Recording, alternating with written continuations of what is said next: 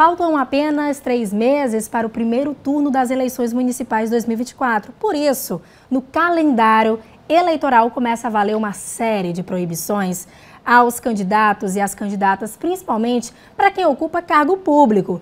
Esse é o assunto do nosso estúdio de hoje. Aqui comigo o doutor Alisson Soares, que é vice-presidente da Comissão de Direito Eleitoral da OAB Piauí. Seja bem-vindo. Bom dia para a gente tratar desse assunto, que é um assunto que rende bastante, né? As proibições. É preciso que a população e os órgãos de vigilância sejam atentos, né? Estejam atentos a essas proibições, e são algumas, né? Bem relevantes. Correto. As proibições, elas são, como você disse, elas são justamente para aquelas pessoas que detêm já o poder do Estado, já detêm o poder do Estado. Nesse sentido, é, a, o objetivo dessas vedações é trazer um equilíbrio na disputa eleitoral, fazer com que é, quem é prefeito, por exemplo, é vice-prefeito ou vereador, ele não se utilize da estrutura de Estado para desequilibrar o pleito e sair em vantagem em relação a quem não tem, por exemplo, é, é, é, não está dentro da estrutura de Estado, não tem mandato. Maravilha. Inclusive, a gente tem uma reportagem bem atualizada aqui dentro do nosso portal a10mais.com. Eu vou pedir até para o pessoal da nossa produção do Twitter espelhar esse material para o pessoal de casa e acompanhando. São algumas aí, contratação de shows artísticos, presença em inaugurações, transferência de recursos. São algumas, ó, tá aí, tudo bem atualizado no nosso portal a10mais.com. Dessas aí, todas são importantes todas são importantes e são as grandes é, ações que podem desequilibrar o pleito, que chamam a atenção durante é, o período eleitoral. Então, por exemplo, é, contratações nesses três meses, elas não podem ocorrer. Você não pode nomear servidores públicos nesse período. Tem exceção? Tem. Se houver um concurso público e ele já tiver sido homologado até, até esse mês de julho, então essas nomeações poderão ocorrer. Se isso não tiver ocorrido, é, contratações de pessoal não poderá ocorrer e nem demissão. Por quê? Porque é no momento da política onde ah, pode ocorrer quem está numa situação privilegiada, o gestor, pode caracterizar algum tipo de ameaça, alguém que não esteja comungando do mesmo partido, da mesma ideia, da agremiação partidária, ou não queira votar.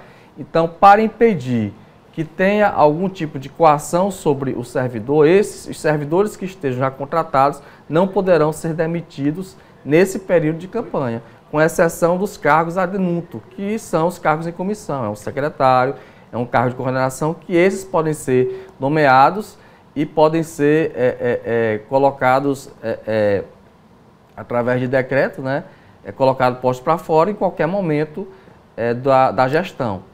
Então, essa é uma regra importante.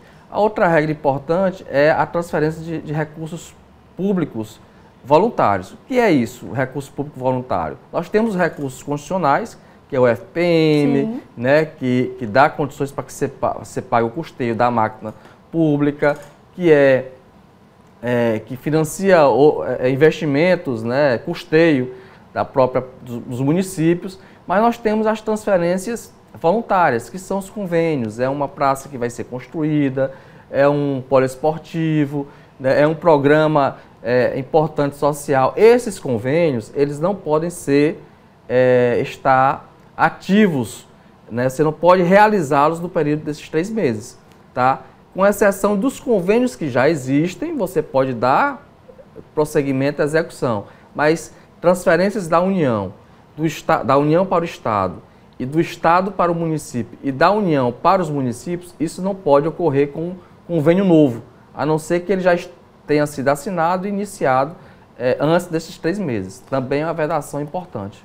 Doutor, a gente preparou, inclusive, para combinar aqui com essa entrevista em estúdio, para o pessoal de casa também ter uma noção, algo que se fala bastante quando se trata de eleições, é de financiamento de campanha. E as principais mudanças, teve novidade nesse ano, né? Ainda está em vigor essa questão da destinação de recursos para a candidatura de mulheres e negros, né? Existe essa novidade isso é importante. A gente tem até uma reportagem para o nosso telespectador sobre esse assunto. Sério.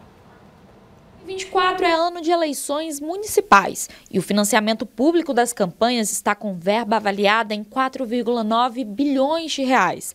O fundão tem regras para ser repartido entre os candidatos e este ano as principais mudanças envolvem as candidaturas femininas e de pessoas negras. Os partidos, quando eles recebem recursos públicos, eles têm que destinar aquela cota minoritária, que é 30% o mínimo da cota para as mulheres 30%. Isso se chama cota de gênero, mas na verdade é porque se designou que é cota de mulheres. Não é porque mulher teria que ter ser 30%, é o mínimo, né? Então você destina 30% daquele recurso para as mulheres. Dentre os 30%, você seleciona quantas mulheres negras existem. Então, dos 30%, o percentual de mulheres negras receberão aquele recurso destinado às mulheres negras. O restante seria para as mulheres não negras. E com relação aos homens, da mesma forma. Se é 30% de mulheres, fica 70% de homens. Então, 70% daquele recurso ali é destinado aos homens. Dos 70%, vê quantos homens negros existe, o percentual, e daí tira o percentual para os homens negros e o restante fica para os homens não negros. O valor destinado varia de partido para partido e só fica disponível após a definição dos diretórios nacionais sobre a distribuição dos recursos para os diretórios estaduais e municipais.